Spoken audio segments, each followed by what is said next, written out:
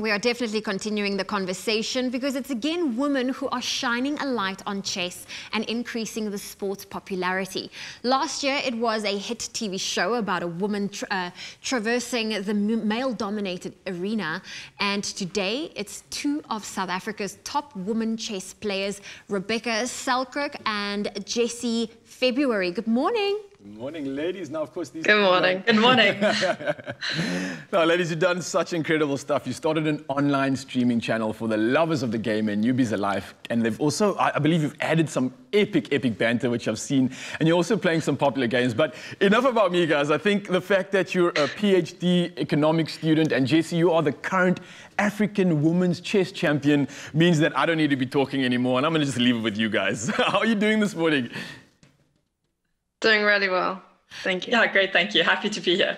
Oh, well, listen, this is amazing. And I mean, just if you've just tuned in, we are talking to a women's international master and a women's candidate master. Now, for those who don't know, I feel like you two, please just explain to us a little bit what these titles mean and how much work it took to get there. Yeah, so uh, the titles are actually achieved by playing competitive chess. So, of course, um, as as Grant mentioned, like climbing the rankings and so on. Uh, luckily, we were able to attain our titles by playing African events. There are different ways of achieving the title, of course. You can either um, keep compete and, and, and gain rating that way, or you could play in continental events or uh, national events and, and so on, just trying to obviously win the event or come top three. And that way we got our title. So Women International Master um, is one step away from Grandmaster, and Grandmaster is actually the highest title you can achieve in chess. Um, I'm sure most of um, the people, of course, like have watched Queen's Gambit, and uh, yeah, Queen's Gambit is a very popular series, and there we speak. They speak about Grandmasters all the time. So that's definitely the goal, the end goal. I don't know if you want to add something there, Rebecca. I think Jesse's covered it really, really nicely. That is basically what what the titles are. So we're working our way up to getting getting a grandmaster title, hopefully in future.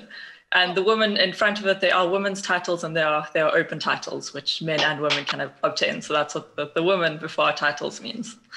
Oh, awesome. So We're this is holding fingers for you. Yeah, definitely. now, uh, I've got to say that I think what is happening right now is so cool. Obviously, you mentioned Queen's Gambit. It's just caused an absolute hype. And now, two of South Africa's top, top players have come together to start a streaming channel, which is called Hashtag Chess. Now, did you guys start this channel with a goal in mind or mission, or was it just like, let's link up and chat and see what happens? What was the game plan here?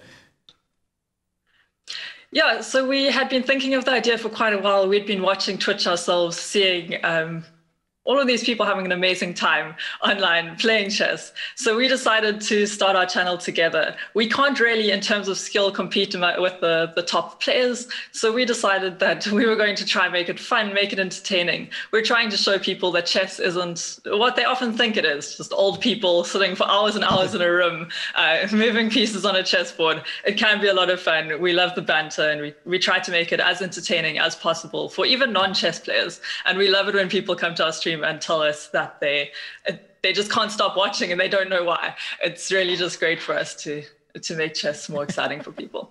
Well, it's just nice because you're adding that personality to, to your channel and that's what's going to set you apart. Now, I know it's been a year since you started and you've already grown to almost 8,000 followers. It must be really affirming to see people, you know, catching on and people from all over the world, no less, really taking an interest in your, your channel. How's that been for you? It's been amazing. And as you mentioned, almost 8,000, we just crossed 8,000 last night during one of our streams. Oh. Yeah, so we, we're very privileged.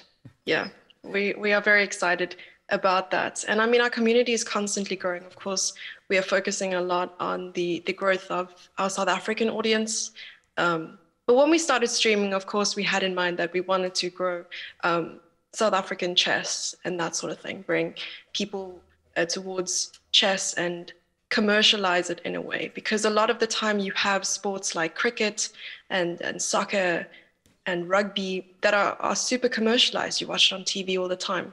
And not so much for chess. So we thought we'd, we'd show people how fun chess can be. And with that, uh, we kind of grown our audience worldwide, not just in South Africa. Of course, we want to focus on South African on South African chess, but you know, it's it's nice to see the ripple effect. Now, on top of this, I mean, I think it's so cool, and a lot of us are obviously watching some of these overlays and seeing the cool banter that you have in the dancing, and you've just brought this awesome element to, to chess, which, like you said, has this preconceived notion of just being an old person sport. So now, on top of this, which I think is incredible, Grant Hines will just add to credibility of this, but you've gained a Twitch partnership and have now become partners with an international chess network. So this is huge when you consider the space you're playing in. So where do you go from here? Like, what do we expect for the rest of 2021? It seems like the momentum is with you and there's just anything can happen. Yeah, I think we're focusing on just continue, continuing to grow our channel. We have been, we've had some really great momentum heading into the, the start of the year we focusing on producing more original content as well, not just on Twitch, but on other channels, both educating uh, chess players, especially beginners players, because there are so many new players to the game at the moment.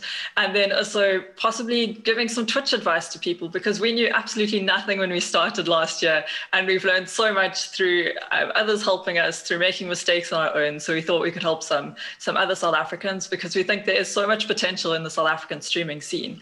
And we, we could possibly possibly help help out with that. You yeah, certainly Rebecca will. is an amazing author. Yeah. Sorry, you were saying. oh, no, no, no. I was just going to say you certainly will. And there's something about chess players that always think a few steps ahead. And I think this is wonderful mm. to see what you girls will be bringing or ladies will be bringing out in 2021. A big thank you, Rebecca and Jesse, for taking your time. That is South Africa's top women chess players making their mark online, mixing entertainment with education and becoming one of the fastest growing Twitch channels in the process. That's hashtag chess. Be sure to check them out.